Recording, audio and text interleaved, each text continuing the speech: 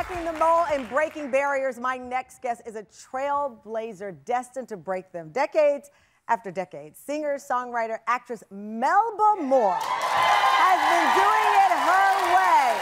Who can forget number one hit, A Little Bit More, and her classic Read My Lips, which earned her a Grammy nomination for Best Female Rock Vocal Performance. Melba was working as a music teacher when she got her start on Broadway 55 years ago in the revolutionary musical Hair. And then Melba went on to become the first African American to win a Tony Award for Best Featured Actress in the musical Purlie. Now the superstar is taking on a new challenge in the stage adaptation of Imitation of Life based on the best selling novel that led to two beloved and controversial films, one of them Oscar nominated. Melba plays Annie Johnson, a black mom whose daughter passes as white. And that's not all. This summer, Melba will receive the ultimate entertainment honor, her own star on the Hollywood Walk of Fame. Welcome Tony winning, three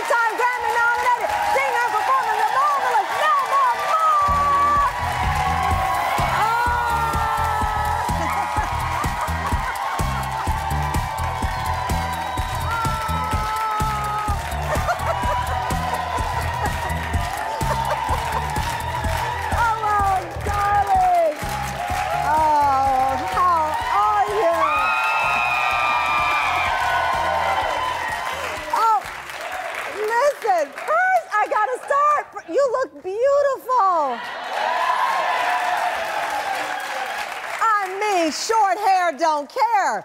Rocking it. This Walk of Fame honor that's coming up, your star on the Hollywood Walk of Fame.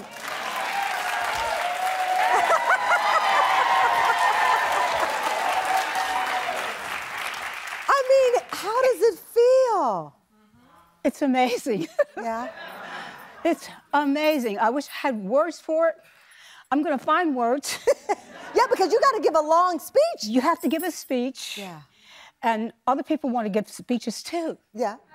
And I want to honor the people that really made this happen. So many people come together. It costs a lot of money. People paid money.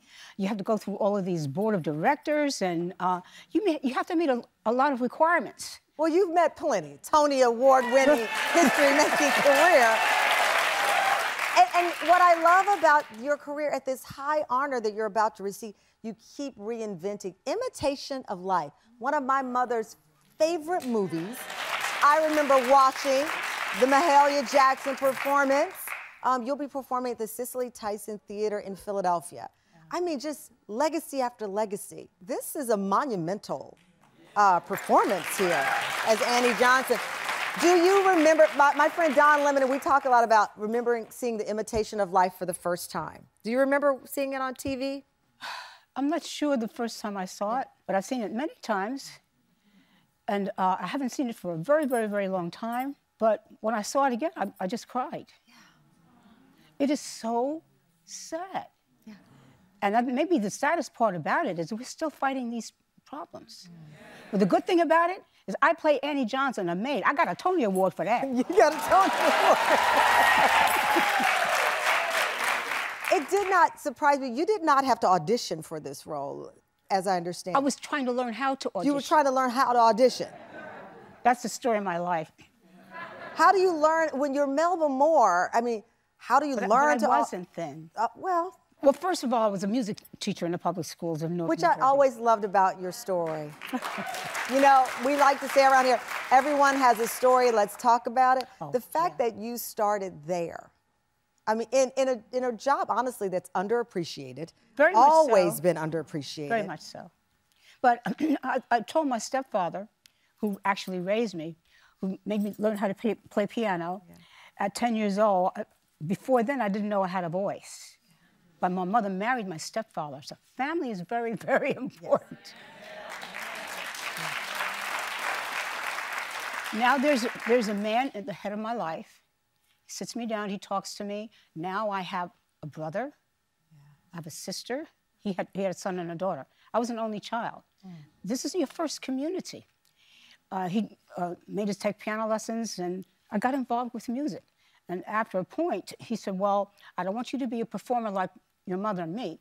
I want you to get a real job. So everybody in my family is school teachers. But after, after a point, I said, well, Daddy, you know, this is what you want me to do. Could you help me to get into to the industry? And if it doesn't work, I'll come back and teach. But the thing that I really took from my heart is that standing in front of the kids, they look through you. Mm. You see that. And I guess as a performer, I didn't know I was going to be a performer. You could see yourself in the audience. So you said, oh, they want to see this. You start to communicate some kind of way that way. So I thought, if I go out to be an entertainer and it works, I'll kind of be a teacher and a student forever. Ah. So I feel like I had that, um, that bar. Yeah. You can be an example. Well, you are, and, and here you are. Just last year, you worked on, you released your 33rd album entitled Imagine.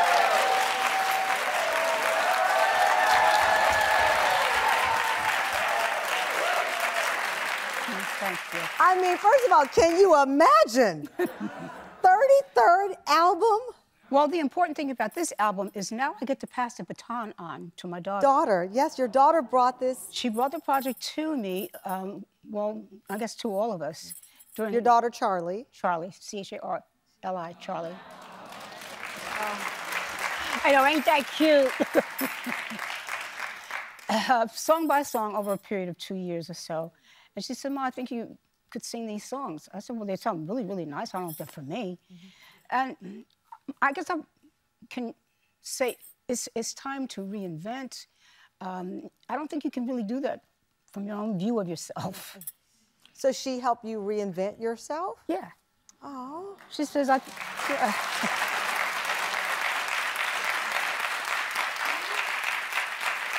Oh, yeah, that's us. you obviously are famous five octave range. Does Charlie inherit these things from mom? She could sing, but she doesn't want to. She doesn't. Uh, maybe she doesn't want to be in my shadow. Yeah. I could understand that. I understand that. I was really kind of in my mother's shadow too. she was a singer. Yeah. But she was beautiful. I want to be just like her still. but, but, but for you, when you see this bond, I mean, because here you are. Oh touring and working all of those years so hard and then motherhood and people ask all the time how do we balance the dream and then the other dream of motherhood? How was it for you? You know really making history as we keep saying but also balancing it with being charlie's mom. well, but i had a team. Yeah. And i'm really kind of trying to build that back again. Yeah. I had a husband who was my manager who was her father and a genius. He's uh, managing and agenting. That's talent. Yeah. It's a real gift. And if you have the, the artistry and that combination and a family, yeah. that's what I had. Oh. Actually, in this project, it's a family project because uh, my ex-husband is involved with it. Um, his uh, brother, who actually picked all of my hits, he and um, a team of people picked all of my hits over the years. They're the ones that put this project together. Oh, so. so. it is a family affair. It really is a family Aww. affair. More with Melba Moore. We'll be right back. We are with the iconic Melba Moore, who breaks the mold every time in her career. So you are working, I'm told, on an autobiography. I read a quote that said, once you've been through something, you generally keep fighting and stay strong in life. I said that. That's what they.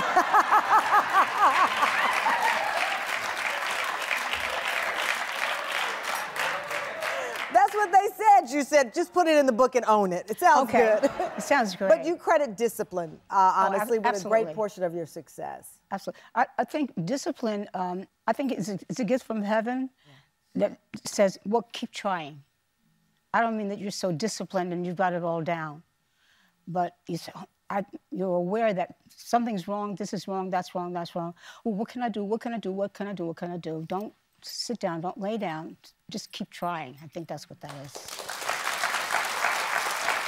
Did, the, the, you know, from going for, as music teacher to where you are now, does it surprise you that this is how it all turned out? Yes, especially it does. It's just one surprise after the other because nothing has really been.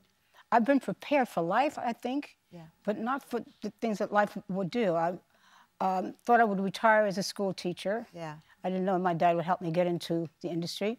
One of the first people I met was Valerie Simpson, and she. A friend we, we share, the great Valerie okay? Simpson. Great, great, yeah. great, great. Great Valerie Simpson. We were in somebody's publishing office and we exchanged numbers, but she got me involved with backup uh, studio singing.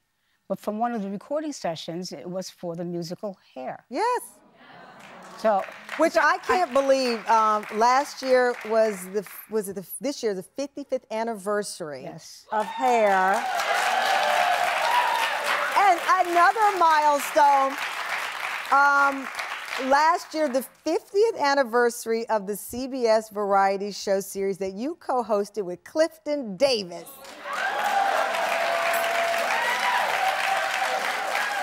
Here's Moms Mabley. Moms Mabley here the range of this career. It, it always it seems, mesmerizes me. It seems me. like a series of accidents. I was just going to say that from the recording session, it was uh, Dermot was doing his own version of the music of Hair, and they said they were still casting, and we sang in there for about two weeks doing all the music, but we were promised a role. I didn't audition for Hair, yeah. but I left the show with the lead role, replacing Diane Keaton. Wow. But that's how my life is. So one of the girls in the course of hair said, Melba, you don't even know how to audition. And she gave me all the information to go up and audition for Purlie. So I was trying to learn how to audition, but I got the part. Oh my God. But I was raised by a nanny. You, you know what a nanny is? I, I, I certainly do. I wouldn't be at this show if I didn't have one helping okay. me and helping to guide me and my family and my life. Of course I know. Well, mine never learned to read or write. Mm. Um, she was not even a maid. She was an orphan. She was shuffled around from place to place. Somehow she made it up north working for families. She raised me. That's why I got the Tony Award. I was imitating her.